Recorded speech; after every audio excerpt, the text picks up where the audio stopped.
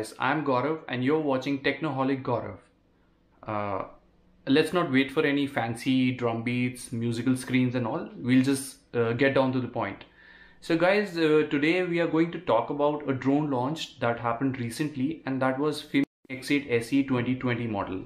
And as we all know, uh, FIMI X8 SE has been a very trusted dro drone that was launched in 2018 has got a lot of you know firmware updates and is pretty trustworthy uh, works well for me. I already own a FIMI X8 SE and this drone has been wonderful for me. Shoots in 4K 2.7K 1080p and solves all my purpose has a wonderful range of around 5 kilometers but I have not gone that far. Uh, I have been just flying around with uh, within my vision line of sight and maximum you know once I have gone uh, gone 500 meters that's all. But uh, this drone has been very very good for me.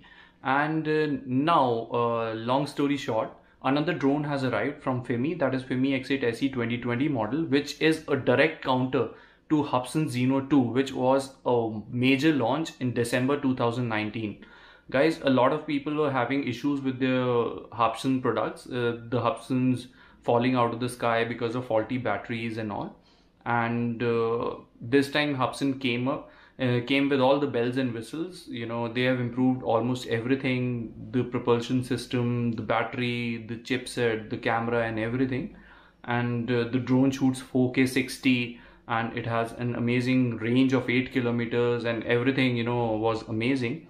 And because of that you know a lot of uh, customers were leaning towards the Hubsan side.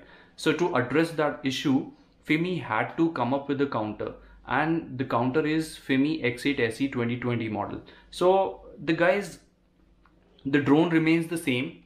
The, the new drone would look exactly like this. What all changes they have done are, what all changes that have been made are all internal. So let's break them one by one. The first change that I have uh, read is now you'll be having three satellite systems that the drone would recognize and that would help you have extra satellites in remote places. Uh, the it will definitely add up to the drone stability. Another thing that they have done is now their downward sensor, the ultrasonic sensor, can track the ground from 30 meters distance. So now even that will add up to a more stable flight. Another thing, you know, uh, what I found out while I was going uh, going through the spec was now the drone is rainproof the design. Uh, it comes with a rainproof design.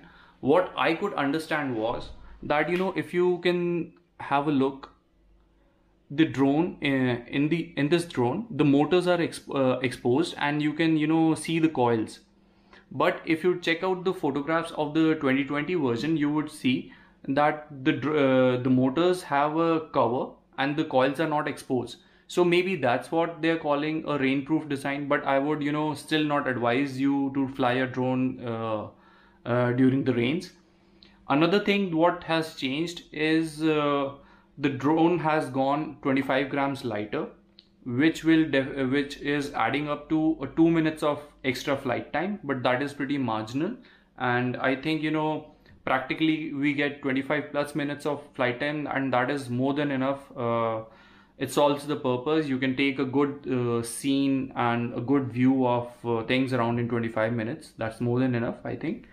And uh, what the major thing they've changed is the camera sensor.